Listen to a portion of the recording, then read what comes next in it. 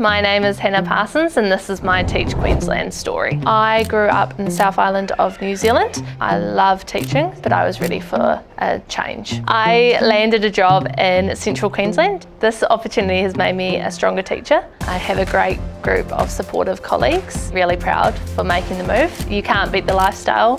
I rang home about two days after I arrived and told my parents I'm not coming back. Nothing beats teaching in Queensland.